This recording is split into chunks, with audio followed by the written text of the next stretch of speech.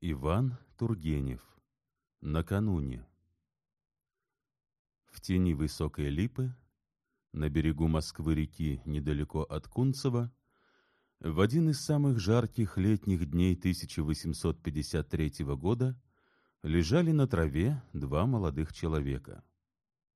Один, на вид лет двадцати трех, высокого роста, черномазый, с острым и немного кривым носом, высоким лбом и сдержанной улыбкой на широких губах, лежал на спине и задумчиво глядел вдаль, слегка прищурив свои небольшие серые глазки. Другой лежал на груди, подперев обеими руками кудрявую белокурую голову, и тоже глядел куда-то вдаль. Он был тремя годами старше своего товарища, но казался гораздо моложе. Усы его едва пробились, и на подбородке вился легкий пух. Было что-то детски миловидное, что-то привлекательно изящное в мелких чертах его свежего круглого лица, в его сладких карих глазах, красивых выпуклых губках и белых ручках. Все в нем дышало счастливую веселостью здоровья, дышало молодостью, беспечностью, самонадеянностью, избалованностью, прелестью молодости. Он и поводил глазами, и улыбался, и подпирал голову, как это делают мальчики, которые знают, что на них охотно заглядываются. На нем было просторное белое пальто, вроде блузы. Голубой платок охватывал его тонкую шею, измятая соломенная шляпа валялась в траве возле него.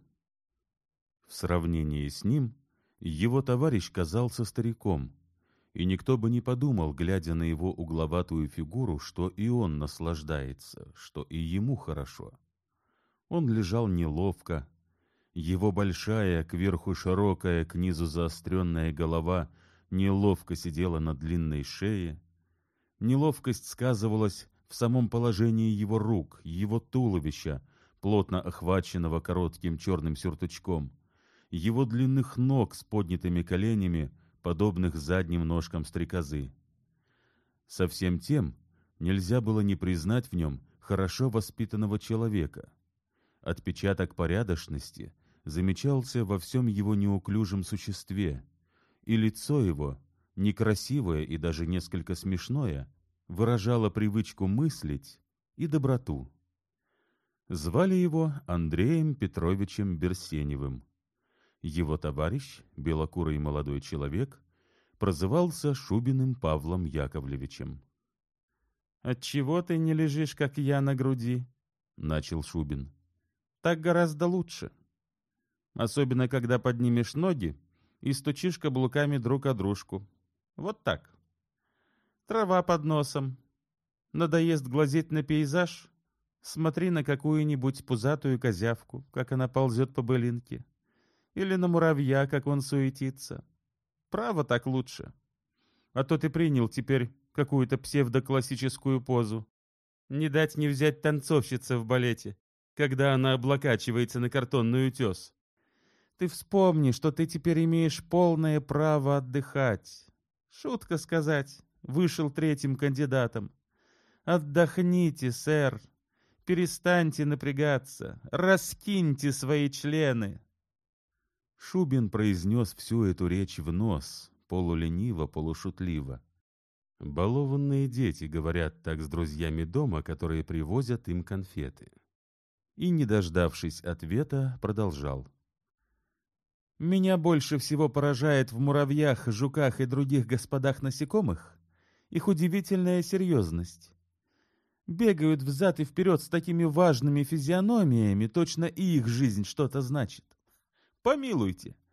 Человек, царь создания, существо высшее на них взирает, а им и дела до него нет. Еще, пожалуй, иной комар сядет на нас, царю создания, и станет употреблять его себе в пищу. Это обидно. А с другой стороны, чем их жизнь хуже нашей жизни? И от чего же им не важничать, если мы позволяем себе важничать? Ну-ка, философ, разреши мне эту задачу.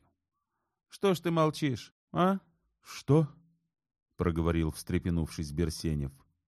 «Что?» — повторил Шубин. «Твой друг излагает перед тобой глубокие мысли, а ты его не слушаешь». Я любовался видом. Посмотри, как эти поля горячо блестят на солнце. Берсенев немного пришепетывал. «Важный пущен колер», — промолвил Шубин. «Одно слово — натура».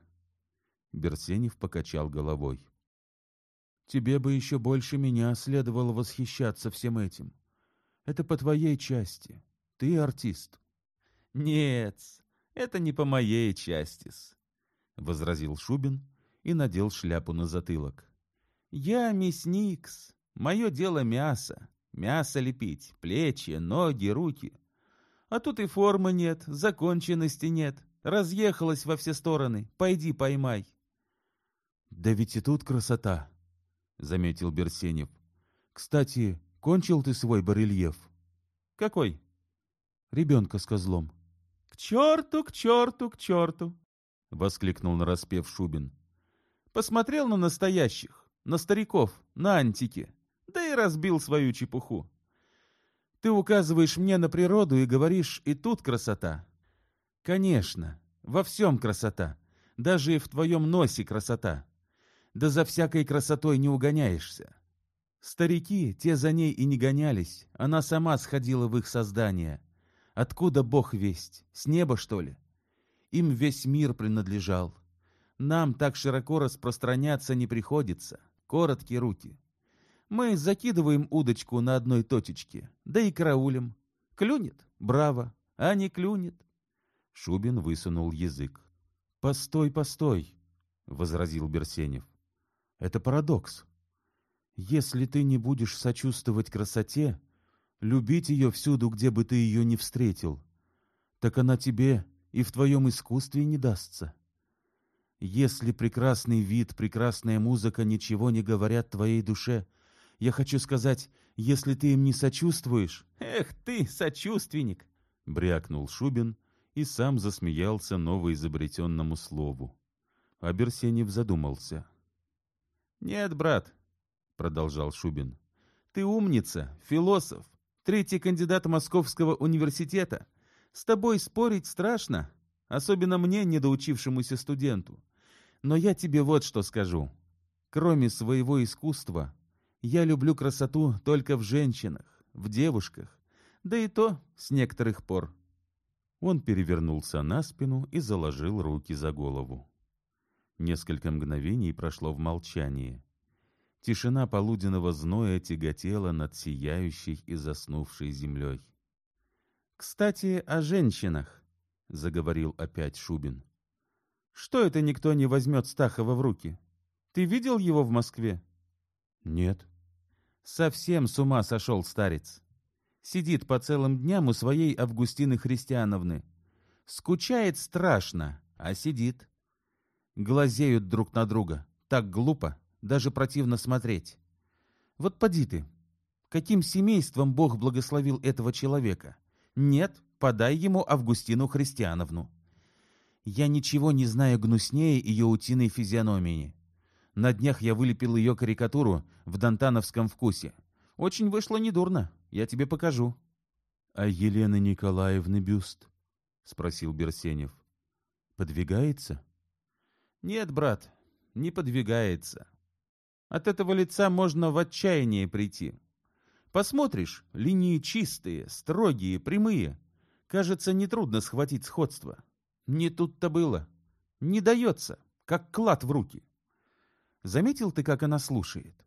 Ни одна черта не тронется. Только выражение взгляда беспрестанно меняется. А от него меняется вся фигура. Что тут прикажешь делать скульптору, да еще плохому? Удивительное существо. Странное существо, — прибавил он после короткого молчания. — Да, она удивительная девушка, — повторил за ним Берсенев. — А дочь Николая Артемьевича Стахова. Вот после этого и рассуждай о крови, о породе. И ведь забавно то, что она точно его дочь. Похожа на него, и на мать похожа на Анну Васильевну. Я Анну Васильевну уважаю от всего сердца, она же моя благодетельница, но ведь она курица. Откуда же взялась эта душа у Елены? Кто зажег этот огонь? Вот опять тебе задача, философ. Но философ по-прежнему ничего не отвечал. Берсенев вообще не грешил много глаголанием, и когда говорил, выражался неловко, с запинками, без нужды разводя руками, а в этот раз какая-то особенная тишина нашла на его душу, тишина, похожая на усталость и на грусть. Он недавно переселился за город после долгой и трудной работы, отнимавшей у него по несколько часов в день. Бездействие, нега и чистота воздуха, сознание достигнутой цели, прихотливый и небрежный разговор с приятелем, внезапно вызванный образ милого существа, все эти разнородные и в то же время почему-то сходные впечатления слились в нем в одно общее чувство — которая и успокаивала его, и волновала, и обессиливала. Он был очень нервический молодой человек. Под липой было прохладно и спокойно. Залетавшие в круг ее тени мухи и пчелы, казалось, жужжали тише. Чистая мелкая трава изумрудного цвета без золотых отливов не колыхалась. Высокие стебельки стояли неподвижно, как очарованные, как мертвые висели маленькие гроздья желтых цветов на нижних ветках липы. Сладкий запах с каждым дыханием втеснялся в самую глубь груди, но грудь им охотно дышала. Вдали, за рекой, до небосклона все сверкало, все горело. Изредка пробегал там ветерок и дробил и усиливал сверкание. Лучистый пар колебался над землей. Птиц не было слышно. Они не поют в часы зноя но кузнечики трещали повсеместно. И приятно было слушать этот горячий звук жизни, сидя в прохладе на покое. Он клонил ко сну и будил мечтания. «Заметил ли ты?» — начал вдруг Берсенев, помогая своей речи движениями рук. «Какое странное чувство возбуждает в нас природа. Все в ней так полно, так ясно, я хочу сказать так, удовлетворено собою, и мы это понимаем и любуемся этим, и в то же время она, по крайней мере во мне, всегда возбуждает какое-то беспокойство, какую-то тревогу, даже грусть. Что это значит? Сильнее ли сознаем мы перед нею, перед ее лицом всю нашу неполноту, нашу неясность? Или же нам мало того удовлетворения, каким она довольствуется? а другого, то есть, я хочу сказать, того, чего нам нужно, у нее нет? — Хм, — возразил Шубин. — Я тебе скажу, Андрей Петрович, от чего все это происходит. Ты описал ощущение одинокого человека, который не живет, а только смотрит да млеет. Чего смотреть? Живи сам и будешь молодцом. Сколько ты не стучись природе в дверь, не отзовется она понятным словом, потому что она немая. Будет звучать и ныть, как струна, а песни от нее не жди. Живая душа, та отзовется. И по преимуществу женская душа. А потому, благородный друг мой, советую тебе запастись подругой сердца, и все твои тоскливые ощущения тотчас исчезнут. Вот что нам нужно, как ты говоришь. Ведь это тревога, это грусть, ведь это просто своего рода голод. Дай желудку настоящую пищу, и все тотчас придет в порядок. Займи свое место в пространстве. Будь телом, братец ты мой. Да и что такое? К чему природа? Ты послушай сам. Любовь. Какое сильное, горячее слово. Природа. Какое холодное школьное выражение. А потому Шубин запел. «Да здравствует Марья Петровна!» «Или нет?» — прибавил он. «Не Марья Петровна. Ну да все равно, вы меня понимаете». Берсенев приподнялся и оперся подбородком на сложенные руки. «Зачем насмешка?» — проговорил он, не глядя на своего товарища. «Зачем глумление?» «Да, ты прав, любовь — великое слово, великое чувство. «Но о какой любви говоришь ты?» Шубин тоже приподнялся. «О какой любви? О какой угодно, лишь бы она была на лицо. Признаюсь тебе, по-моему, вовсе нет различных родов любви. Коли ты полюбил от всей души, — подхватил Берсенев. Ну да, это само собой разумеется.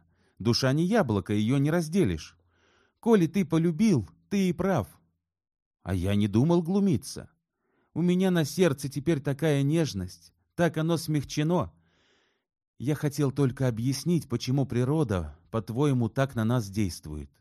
Потому что она будет в нас потребность любви и не в силах удовлетворить ее. Она нас тихо гонит в другие, живые объятия.